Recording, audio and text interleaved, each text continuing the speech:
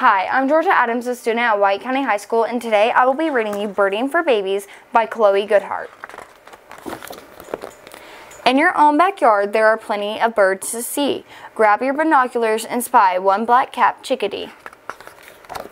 There are two red-bellied woodpeckers busy drumming tap, tap, tap, making a hole for a home with their sharp beaks and red caps.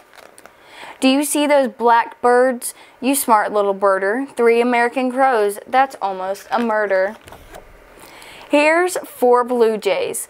With their bright blue jackets, follow the noise to find them. They make such a racket. See those familiar faces? Cheerful crest and orange bills.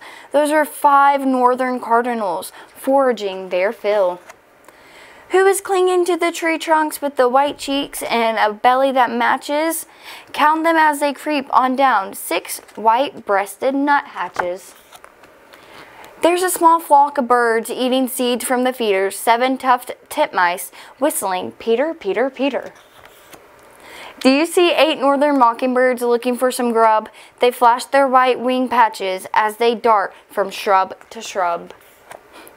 See nine American robins with their bright red chest. Some are eating worms while some are building nests.